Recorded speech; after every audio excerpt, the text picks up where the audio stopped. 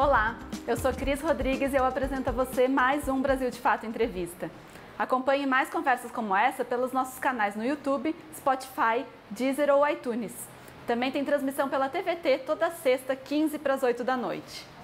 Hoje nós conversamos com o cientista social Tiaraju Pablo, que é doutor em Sociologia da Cultura e professor da Universidade Federal de São Paulo, a Unifesp. Ele conta pra gente sobre a história do carnaval no Brasil desde a origem das escolas de samba e diz que elas se tornaram um importante ponto de resistência política nos últimos anos. Confira!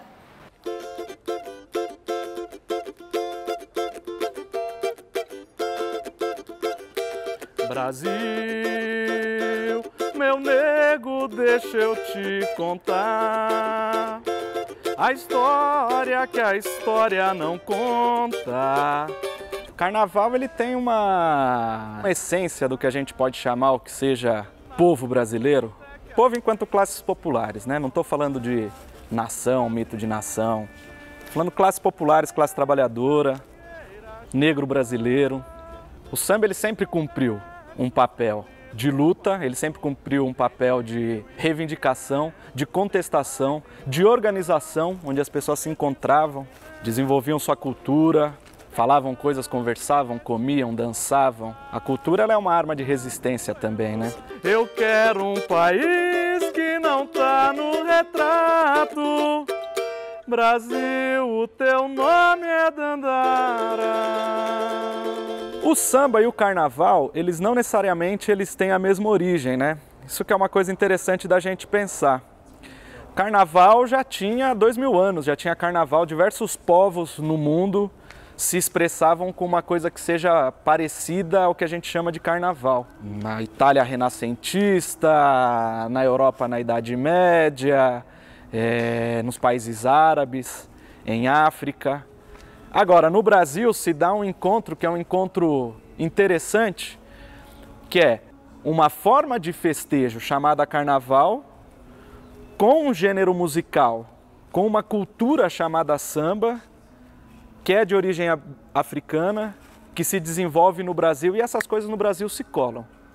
Carnaval no Brasil existe desde o século XVIII e XIX, mas o samba enquanto tal, ele não existe desde o século XVIII e XIX.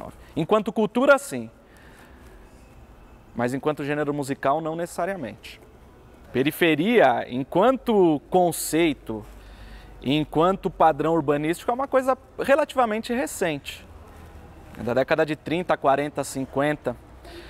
Eu acho que o que a gente pode pensar é que batuques dos mais variados, dos mais variados recriados em, solos, em solo brasileiro, provindos e oriundos do que a gente chama de diáspora africana em solo brasileiro, isso existiu desde sempre. Desde que aportou negras e negros escravizados nesse país, os povos originários do Brasil já batucavam também. A gente fala pouco da herança indígena, só que os índios já batucavam também. Agora, se dá para a gente chamar isso de carnaval, eu não sei. O que a gente sabe é que essas batucadas elas serviram para a resistência desses povos que eram oprimidos. Isso é uma verdade histórica, é um fato. Agora, a gente tem uma forma de pensar o carnaval que chega no Brasil via Península Ibérica, via influência portuguesa, via influência espanhola, a própria forma como a gente sai em cortejo na rua. Isso é mais europeu que africano. Isso é mais católico. Essa coisa de sair numa forma de procissão, mostrando carros alegóricos, fantasiados. Obviamente que nas misturas entre os diferentes povos a gente não dá para saber o que é de quem. Só que as culturas africanas em geral elas se organizavam em forma circular. Essa coisa de andar em rua é muito mais urbano. Então, o carnaval no Brasil, quando ele se sintetiza nesse formato escola de samba, ele tem diversos elementos. Só que a origem africana é a principal. Isso é evidente. O que a gente chama formato escola de samba é na década de 20. Historiograficamente, se a gente vai lá na, na história do samba, na história da música brasileira, se legitimou que o primeiro samba gravado foi o pelo telefone do Dong em 1917. Tem muita gente que diz que foi a tia Seata que compôs. Então tem uma discussão com relação à autoria. Depois vai ter uma outra polêmica se realmente esse samba foi o primeiro samba gravado. Primeiro samba, o que, que era samba? Era um território em disputa, era um gênero que estava nascendo. Era um gênero que ele tinha é, toda uma continuidade de uma série de expressões culturais de origem africana em solo brasileiro, que passou do século XVIII, século XIX, século XX. Mas num determinado momento cravaram, bom, neste momento aqui a gente pode dizer que existe o primeiro samba gravado. A gente tem que lembrar que cidades como Rio de Janeiro e São Paulo, na passagem do 19 para o 20, tinham um grande afluxo de negras e negros libertos. As cidades estão crescendo, os arrabaldes da cidade estão crescendo, os subúrbios estão crescendo, suas favelas estão se formando, suas periferias estão nascendo, então são processos que se dão concomitantemente. Então a gente tem que pensar que esse samba de caráter mais rural, ele começa a ter um caráter mais urbano. Então a gente tem um afluxo de negros libertos nas grandes cidades que vão ocupar subúrbios e morros e que vão continuar desdobrando as suas expressões culturais, musicais, aquilo que a gente vai chamar de samba. O que historiograficamente se diz que é a primeira escola de samba é a Deixa Falar, oriunda do Morro de São Carlos, do bairro do Estácio de Sá, no Rio de Janeiro, que hoje é a escola de samba Estácio de Sá. Tanto que a Estácio de Sá ela afirma que é a primeira escola de samba do Brasil. Só que a gente vai ter algumas polêmicas. A Portela, por exemplo, que só vai ganhar o nome Portela na década de 30, ela desde a década de 20 do século 20, ela já existia enquanto organização social. Primeiro como Baianinhas de Oswaldo Cruz, depois como Vai Como Pode, ou mesmo se a gente pegar o caso da cidade de São Paulo, Dionísio Barbosa ele fundou o Cordão da Barra Funda em 1914 e já fazia uma música parecida com o que a gente chama de samba. Então é complexo a gente dizer qual que é a primeira. A historiografia vai cravar que é a deixa falar, mas é um território polêmico. Agora, a escola de samba, enquanto forma de organização, é na passagem do 20 para o 30. Uma das grandes impulsionadoras do samba urbano que a gente conhece foram baianas que aportaram na cidade do Rio de Janeiro, na zona portuária. Tia Ciata é o nome mais proeminente, mas eram várias tias baianas que promoviam batuques numa região próxima ao centro do Rio de Janeiro, o que hoje a gente chama de Cidade Nova, Cidade Nova, conhecida na época como Pequena África, e que foi derrubada na construção da Avenida Presidente Vargas do Rio de Janeiro num processo higienista e de expulsão dos mais pobres, da população negra de próxima dos centros das cidades. É, na cidade de São Paulo, a gente tinha uma série de batuques que se desenvolviam nos primeiros, nas primeiras décadas do século XX. 10, 20, 30, 40, toda a expressão que era popular e preta no Brasil, ela foi perseguida desde sempre. Isso é um fato da nossa realidade. Na década de 30, teve um jogo de negociações, de tensões, que foi uma tentativa é, do governo Vargas de colocar a classe trabalhadora brasileira como sendo a protagonista política, ainda que seja um protagonismo de fachada, mas queria dar um certo protagonismo simbólico à classe trabalhadora brasileira, donde houve uma operação de o samba ele ser erguido a símbolo da identidade nacional. Então é muito interessante porque é um gênero musical que se em 1915, 1920 era perseguido, em 1940 já era o símbolo da identidade nacional. O que, que a gente queira chamar essa coisa de identidade também, porque é uma coisa absolutamente complexa, né? O que é a identidade nacional num país dividido em classes? Dá para falar de identidade nacional?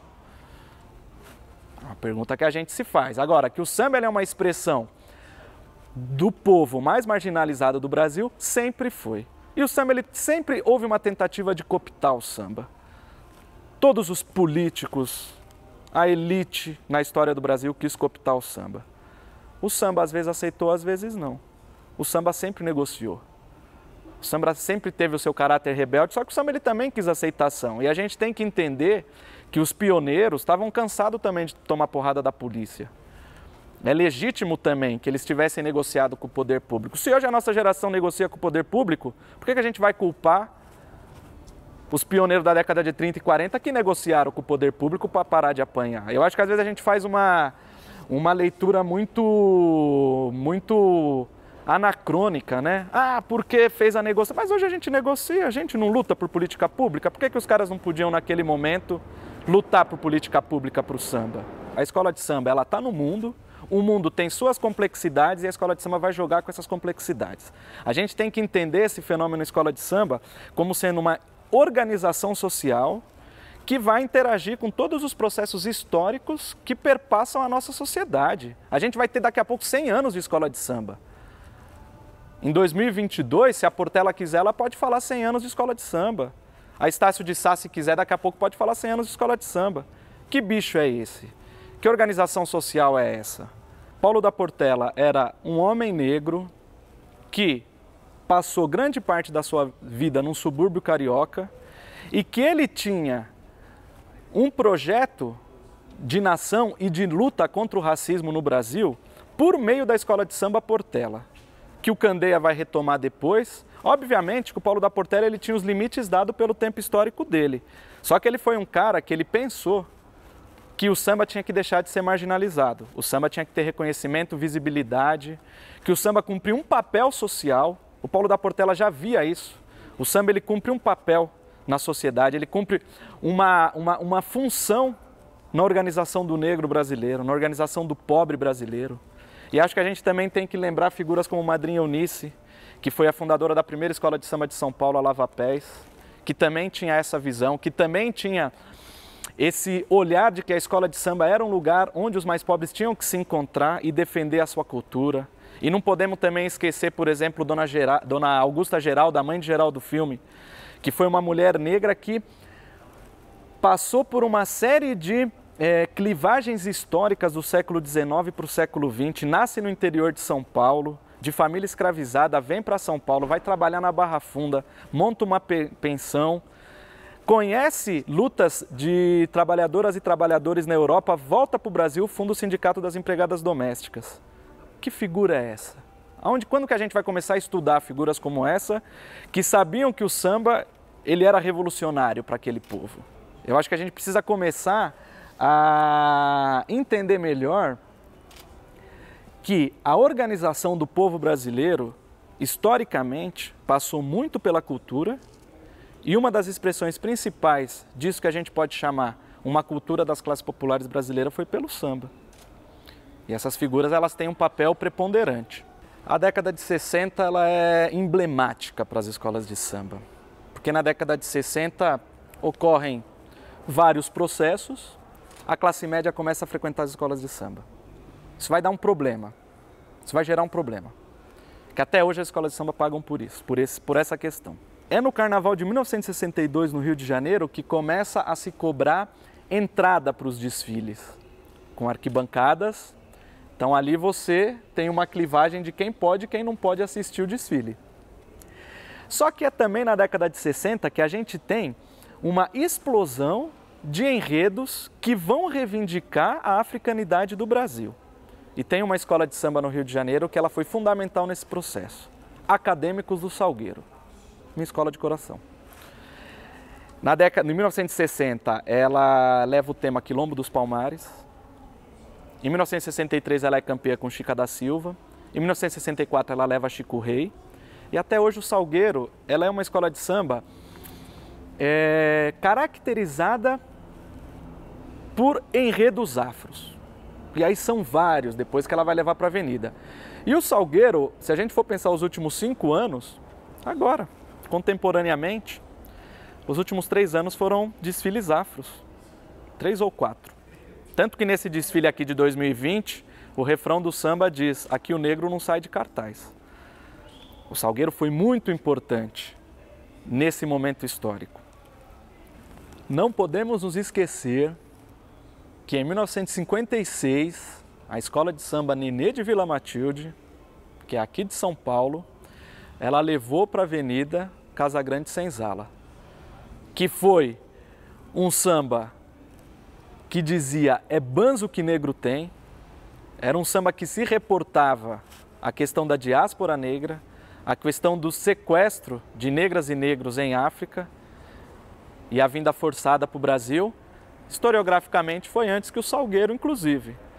Então, o Carnaval de São Paulo ele tem sua importância também. A gente precisa às vezes se atentar, porque São Paulo produziu muito samba e produziu muita crítica por meio do samba também. A gente não pode esquecer disso. É que o Carnaval do Rio de Janeiro ele teve mais visibilidade. Então, o papel que o Salgueiro cumpriu acabou sendo mais importante. A gente teve Geraldo Filme, que foi preso porque fez um samba crítico em 1972. A gente teve a quadra da Unidos do Perucho invadida. A gente sabe dessas passagens do samba de São Paulo. No Rio de Janeiro também. No Rio de Janeiro o que acontece é uma inibição, por exemplo, de temas afros. Se a gente for pegar na história do carnaval, ali na década de 70 esse tema ele sai de cena. Que na década de 60 tem essa explosão das escolas de samba assumirem a sua origem africana. Na década de 70, interagindo com o momento político do país, e a gente tem que novamente lembrar isso: a escola de samba não está dissociada da nossa história. A escola de samba ela vai interagir com o tempo histórico que ela está inserida.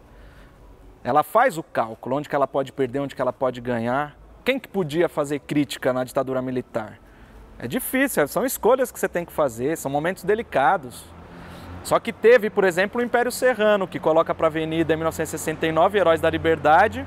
Conta-se que enquanto o Império Serrano estava desfilando na Presidente Vargas no Rio de Janeiro, os helicópteros da ditadura estavam sobrevoando. Então você tem uma coação.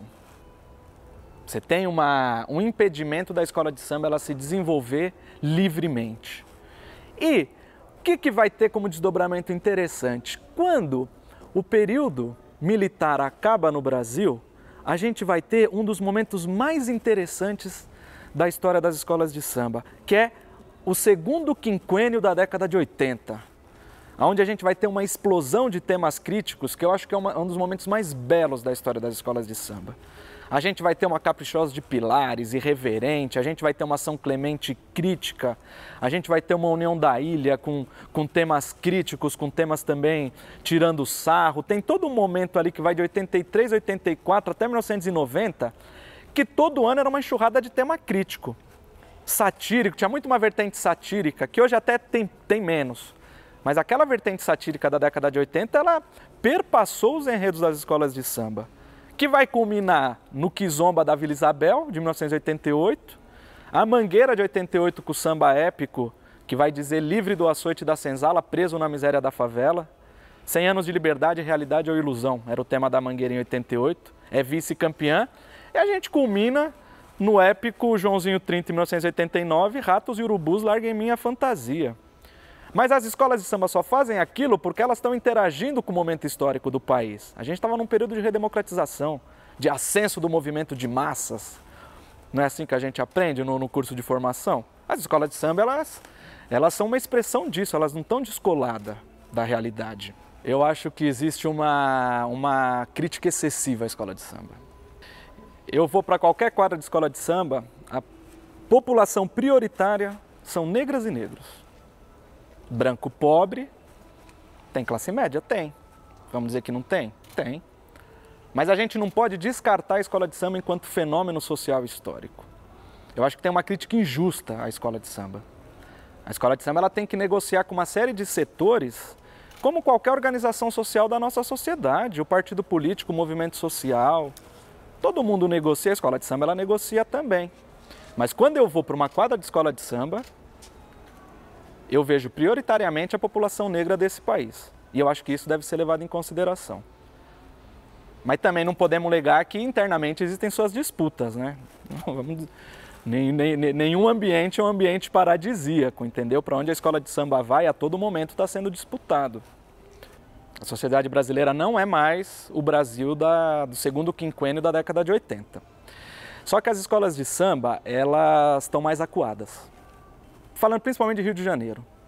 Tem uma perseguição econômica, o poder público já não quer financiar, as empresas já não estão financiando tanto como estavam financiando na década de 90 ou no primeiro primeira década dos 2000. Você tem uma asfixia econômica da escola de samba. Botar o carnaval na rua é difícil pra caramba.